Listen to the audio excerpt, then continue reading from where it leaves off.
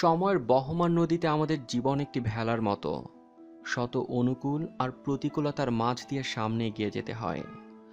কখনো কখনো নিজের ফেলে আসা সময়কে বর্তমানের কাছে হার মানাতে হয়।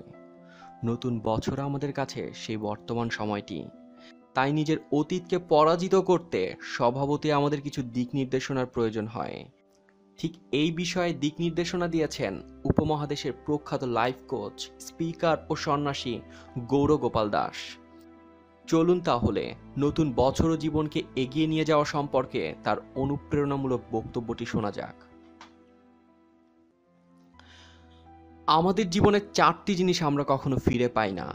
এগুলো হলো, একটা পাথর কোনো দিকে ছুঁড়ে মারলে, যে কথা আমরা বলে ফেলি যে সুযোগ আমরা হারিয়ে ফেলি এবং যে সময়টা চলে যায়।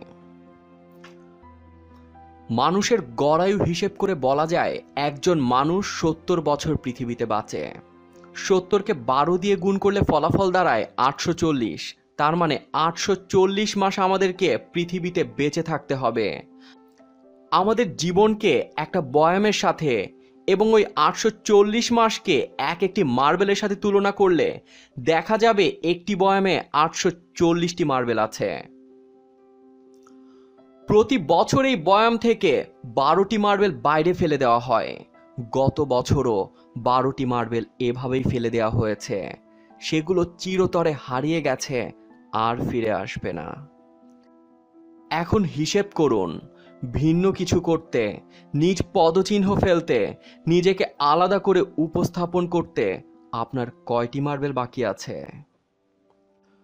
সময়কে সঠিকভাবে ব্যবহার করুন। সময় আপনাকে যথার্থ মূল্য দেওয়ার মাধ্যমে ভালো থাকার একটি সামগ্রিক অনুভূতি দেবে। উসাইন বোল্ট তিনটি অলিম্পিকে আটটি স্বর্ণ জিতেছেন এবং তার বর্তমান নিট মূল্য ষাট মিলিয়ন ডলারের মতো। আপনি কি জানেন তিনি অলিম্পিকের ওই ট্র্যাকগুলোতে কত সময় দৌড়েছেন? সব মিলিয়ে দুই মিনিটেরও কম সময়। হ্যাঁ আপনি ঠিক শুনেছেন, মাত্র দুই মিনিটেরও কম সময়। এই দুই মিনিট তার জীবনের মোড় ঘুরিয়ে দিয়েছে এবং তাকে আজ এই অবস্থানে নিয়ে এসেছে। কিন্তু এই দুই মিনিটকে মূল্যবান করতে উসাইন বিশ বছরেরও বেশি সময় অনুশীলনে ব্যয় করেছে। নতুন বছরে নিজের শরীরের যত্নে সময় ব্যয় করুন। নিজের সম্পর্কগুলো যত্ন করে লালন পালনের জন্য সময় ব্যয় করুন।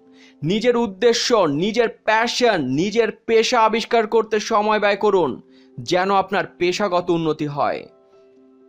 একটি অর্থবহ, গভীর আত্মিক সংযোগ অন্বেষণ ও উন্নত করতে সময় দিন। এগুলোর মধ্যে কোনটিতে গত বছর কেন আটকে গিয়েছিলেন সে কারণ সমাধানের জন্যও সময় দিন। একটি নতুন বছর রিফ্রেশ বাটনে চাপ দেওয়ার জন্য নতুন সুযোগ দেয়। নিজের জীবনের পেসকে রিফ্রেশ করুন এবং ভালো করে বাঁচুন। কারণ মনে রাখবেন, দিনের শেষে আমাদের প্রত্যেকের জীবন এক একটি গল্প এবং নিজের গল্পটিকে একটি অনুপ্রেরণার গল্প হিসেবে তৈরি করুন। ধন্যবাদ আমাদের সাথে থাকার জন্যে। পরের পর্বে কোন বিষয়ে ভিডিও দেখতে চান তা এখনই কমেন্ট করে জানান।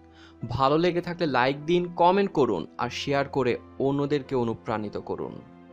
আর প্রতিদিন সকালে একটি অনুপ্রেরণামূলক বাক্য দিয়ে দিন শুরু করতে এখনই লাইক দিয়ে আসুন আমাদের ফেসবুক পেজ পাই ফিঙ্গার্স মোটিভেশনে সফলতা কেবল আপনার জন্যেই।